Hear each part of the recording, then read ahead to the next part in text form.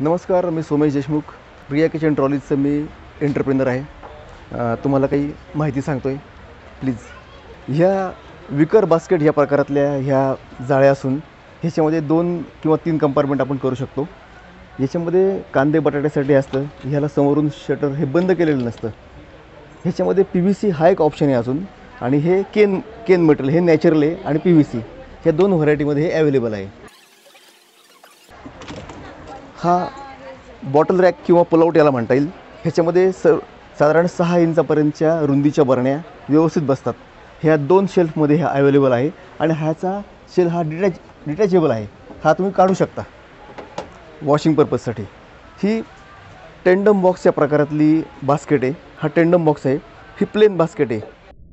ह्याच्यामध्ये ह्याच्यात स्पेशल असं काही नाही आहे परंतु डिश आणि थाळी हे दोन प्रकारचे इन्सर्ट यात टाकलेले आहेत. इन्सर्टमुळे काय होतं तुम्ही कुठल्याही ड्रॉवरमध्ये कुठलंही सामान व्यवस्थित ठेवू शकता. हा स्विंग कॉर्नर हा प्रकार आहे. स्विंग कॉर्नरमध्ये काय होतं की जे तुमचं हल्ली काय झालं की सिलेंडर जे आहेत हे आता हद्दपार होत चाललेत. आणि गॅसची लाईन आपल्या शहरामध्ये येत चालली येते. त्यामुळं काय झालं की हा जो ब्लाइंड कॉर्नर आहे हा व्हिज्युअलाइज कसा करता येईल ह्याच्याकरता ह्याचा उपयोग होतो. एक छान प्रकारे हा एक. आणि ऑपरेट करायला खूप छान वाटतं हे. एक चांगला फील देतो तुम्हाला.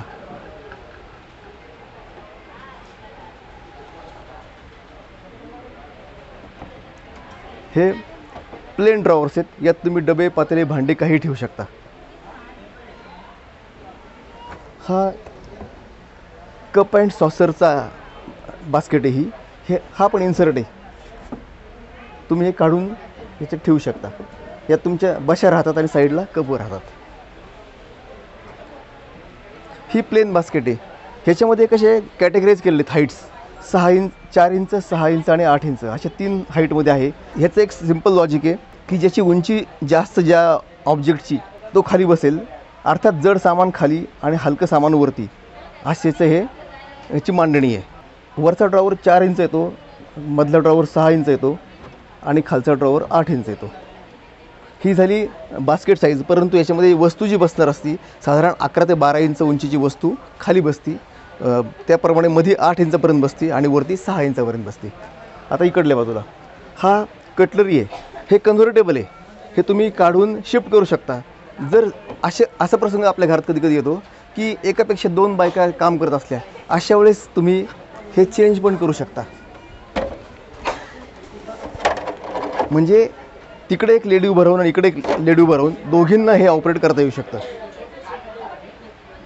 हे कन्व्हर्टेबल आहे. तसेच इकडल्याप्रमाणेच ह्या पण दोन्ही प्लेन बास्केट आहेत ही आणि खालची. यात तुम्हाला डब्याकरता ठेवता येतं.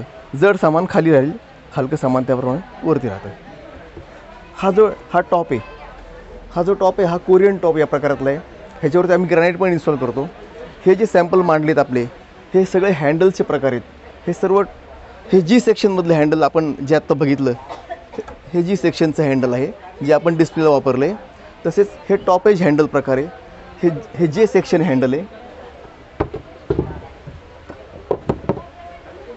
या सगळ्या व्हरायटीमध्ये कलर असतात वेगवेगळे. हँडलमध्ये पण कलर्स आहेत वेगवेगळे. हँडलमध्ये अजून बरेच प्रकार आहेत. ते एक वेगळ्या प्रकारचं हँडल आहे. आता हा जो प्रकार आहे हा आहे ओव्हरहेड कॅबिनेट ओव्हरहेड कॅबिनेट म्हणजे आपल्या डोक्यावरचं साधारण जे स्टोरेज असतं ते इथं आहे. ह्याच्यामध्ये तुम्हाला क्रॉकरी ठेवता येते की जी चांगली डिस्प्ले होती. तसंच हा हा जो प्रकार आहे ह्याला म्हणतात ॲव्हेंटोस ॲव्हेंटोसमध्ये काय होतं की तुमचं हे संपूर्ण बंद होतं. किंवा या जागी आपण चिमणी पण इन्स्टॉल करू शकतो. असंच हा वरती होतो परत.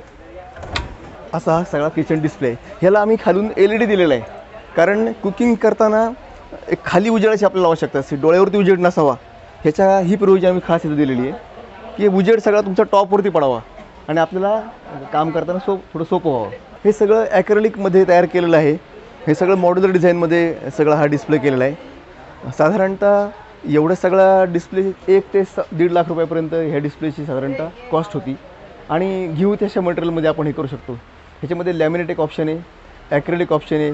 अजूनही बरेचसे ऑप्शन याच्यामध्ये आहेत. अधिक माहितीचा संपर्क करा.